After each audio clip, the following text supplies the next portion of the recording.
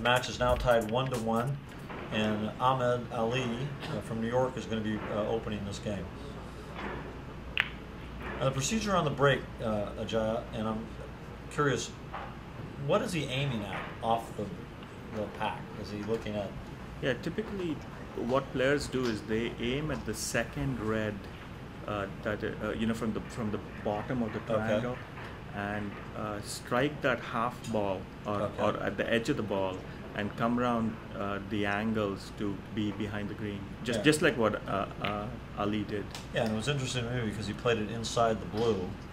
The first time I saw that, I thought that was very challenging to do. Yes, actually, they put right English, which uh-huh. actually swings the ball uh, at, at, a much uh, wider angle off the uh-huh. bottom cushion uh-huh. and comes in between the pink and the blue. Yeah, and and that one he executed the break the way that you had recommended he was behind the green, almost perfect position. Yes, it left him. Uh, it left uh, Yi Fei a tough shot, uh-huh. and he had to go for the pot. He had yeah. no other option, and uh, was actually lucky not to leave uh, Aly with an easier shot than this. Yeah, and I think you know when, when you look at that, that's that's really an advantage. Uh, a lot of times, breaking the ball is going to be a big advantage in this game if you're accurate at it.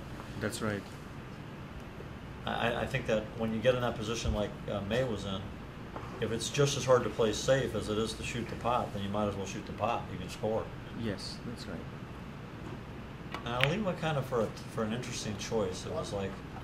Yeah, he went for a really risky red. Yeah. And uh, left Yi Fei with uh, with a with an easy red, and uh, he's got a great opportunity now. He's uh, going to play the blue and get back towards the reds. Oh, he didn't play a very good shot there. He wanted to avoid cannoning that way. Yes. Yeah, he's tough here. He's probably going to have to use the rest, the long rest, or either that or he's going to have to elevate his bridge over the stack. That's right, you know, yeah. A pack of reds, okay, we call it the stack and pull. And here again, like like most ball games, you know, a fraction makes such a such a big difference. I mean, if he if he was just a millimeter narrower with with uh, with his angle, he would have avoided that red and be in a, in a much better position. That was a good shot to see the effect of, of the nap in inside English as you saw the ball actually taking an inordinate turn towards the bottom rail. That's right. The uh, the table is brushed from the back end to the uh, to the end where the black is, mm-hmm. and um, there is uh, like like Tony you were mentioning there is there is a nap that actually uh, uh a nap is nothing but but the uh, uh, the weave of the cloth the weave of the cloth yeah. essentially and they are directed towards the black mm-hmm.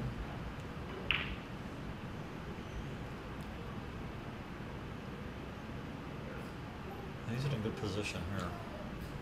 So again, he wants to get to the reds by the black or actually, there's a red just by the pink, so you probably play that first. Yeah, it looks like he can go right down. And of course, at some point in time, he's going to try to find a way to go in and, and disturb the reds and make them more open. Now, is it preferable generally? And of course, every situation is different. Every frame, balls, you know, are in different positions. But do you prefer trying to go to, when you want to disturb the reds or break the reds open? Is it it's preferable to go off a colored or is it Oh, he's missed a very easy shot there. Uh, but yeah, coming back to your point, uh, Tony, um, different. Uh, again, it, it, depends on the situation, but but typically uh, most players break the pack uh, off the black or the blue. Okay. Uh, they, um, you know, that's typically what what happens. you know, most of the the reds end up being packed around the pink spot, mm-hmm. and uh, it's ideal to either break it, uh, you know, with uh, with an angle from the black or the blue. Yi Fei has uh, at least three or four reds open now before he has to go into the pack.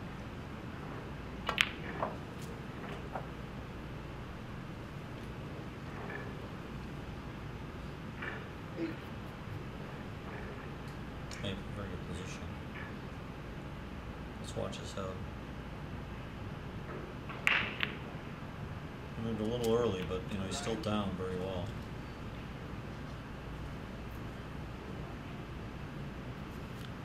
He has a couple of options here. He can draw the uh, the white ball back and, Uh-huh. and miss the red on the uh, on the right hand side and, and be on the, uh, uh, the red by the pink, or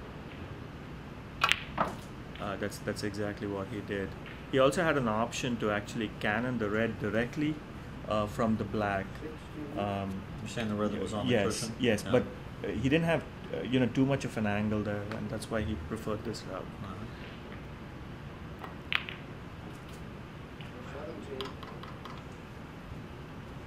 Well, he's got an angle now. Now, whether he could draw the ball enough to do this or not, Yeah, he'd still pot the black. Yeah. He uh, Actually, the player has to be concerned in this position of not knocking another red, like a loose red, into the pocket, or it's a foul. It would be a devastating error.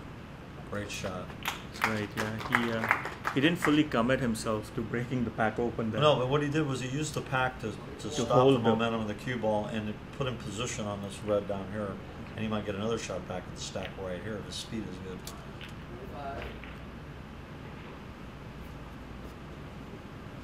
Yeah, again, he has a couple of options. He can go uh, go into the pack to the uh, to the left hand of the of the red there, half ball, and uh, he would still be on on the red to the middle.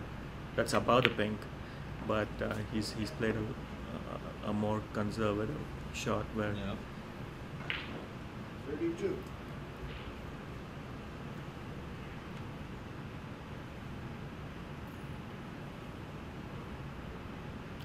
This is where he wishes he was about six inches taller. Exactly. Well, he's gonna now. This is interesting. All the snooker guys who have all the best equipment uh, that I saw down there, and uh, the extensions are very accurate extensions, as opposed to a lot of the American extensions. While the American pool cues seem to be far more refined than snooker cues, the additional accessories seem to be far more refined than snooker because of the distance of the table. That's right.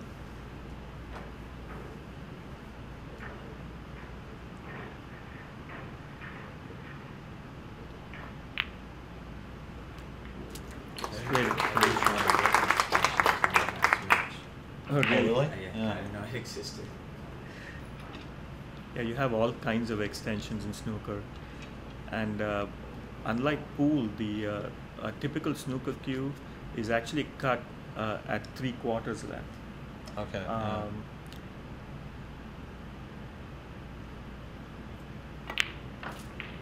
You know, it's interesting because American snooker cues, if you ordered a cue that's a snooker cue in America, it would always come along.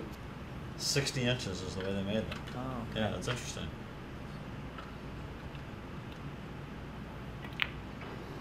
Nice touch. So, so Tony, you were saying that uh, snooker was extremely popular in San Francisco. we had, there, Um, there were two rooms, Cochran's and the Palace, that were across the street from each other that were 24 hour operations.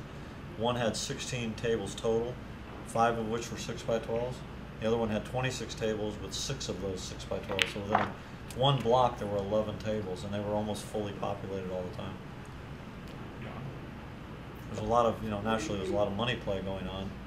Right. And, uh, you know, that's how people in America hone their games. Which which decade was this? in? Uh, it was in the 70s, the 60s, well, the 50s, the 60s, the 70s, and into even the late, the early 80s. Yeah.